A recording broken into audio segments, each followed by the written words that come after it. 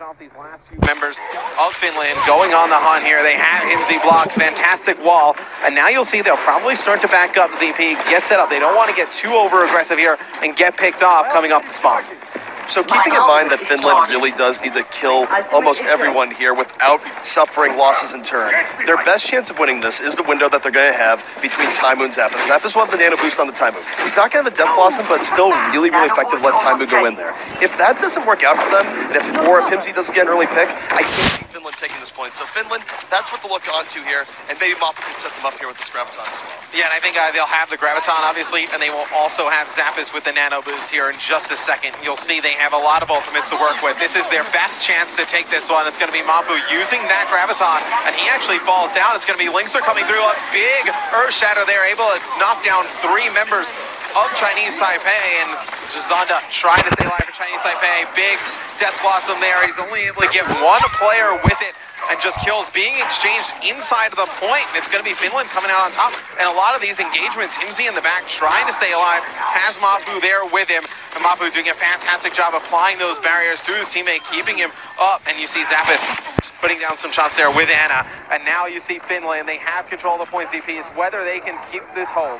The problem is keeping control. They have suffered some casualties here, and the defensive respawns are coming in. They have not gotten a single tick here, so even though they won the fight, Anubis, with its advantage in defense, means that Chinese Taipei is still given the ability to swirl onto point, but Taimou coming in, the Death Blossom picks up two. Finland still holding strong. Their reinforcements have come in, and Finland at the last moment here, well on their way to capturing this point. They have a full six back and in here, and Chinese Taipei is on the ropes. Oh, it's a disaster for Chinese Taipei. They used the nano boost on that last fight. They gave it to their Winston, got sucked up in the Graviton Surge. Now they don't have it to come here on the attack here, trying to take the point back, and that ends up being their downfall the end of the day, and it's going to be Finland. They're able to get both points, do not have any time left. So it was a good defensive stand from Chinese Taipei there in the first half. You really, I mean, when you look at some of the stats, you know, Eddie Voss had a fantastic first half for Chinese Taipei. So Zonda do some big things there on the Reaper. So a good first half there for Chinese Taipei. It was great for them, and really one key part that was kind of cool to watch is that Taimou, of course, one of the best Widowmaker players in the game when he does decide to play Widow, but Eddie Bost on the Ana was p- applying a lot of counter pressure to him, took him out multiple times in those Ana v Widow fights. So Eddie Bost was a big reason as to why Taimou didn't have quite as much flexibility in room as he normally would have when playing that offensive Widowmaker. You get a shot at some of the players here. Mafu with a fantastic hat. I believe that is a Daffy Duck hat, if I'm not mistaken. I have not watched Looney Tunes in uh, God knows how many years. I believe that's what he's going for there with that look. Uh, I don't have one of those hats. I would like one though. If uh, he can refer me where to get one, but looks like uh, going into the second half. Is there anything you're looking to see from Finland? From Finland here, I think they're going to be playing a more secure defense here. Where they're, not, I think they were going to be a little bit more aggressive at points, but here I think they just want to try and drag things out. Where even if they lose point A, they want to drag enough time out of this so that they don't lose point B and they don't have to play for a draw. So Finland on defense uh, will go with Taimou on Winston, just showing how deep his hero pool is here. I mean, from Widow to Winston, and we know about all the DPS characters he can play. You'll have him.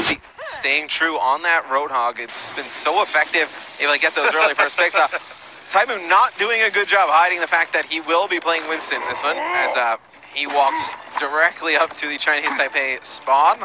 Dora, Well, as probably mentioned, not ideal. As mentioned, uh, Taimou doesn't really play tanks all that often in his normal roles in normal competition. But here in this exhibition, people flex a little bit more, and Taimou going to do his best Miro impression here as he uses Winston to create space here for Finland and not let Chinese Taipei get the engagements that they're looking for. And it'll be Chinese Taipei going with Reaper here on Zonda. It so effective on the defensive end. I like the switch here on offense because what that'll happen is when they engage, they'll be able to get in and actually have somebody to burn down these tank players. And you see Danny getting a hook of his own there at the beginning, though. It's Taimou able to take two out on Winston. It's going to be Hymzi getting one as well.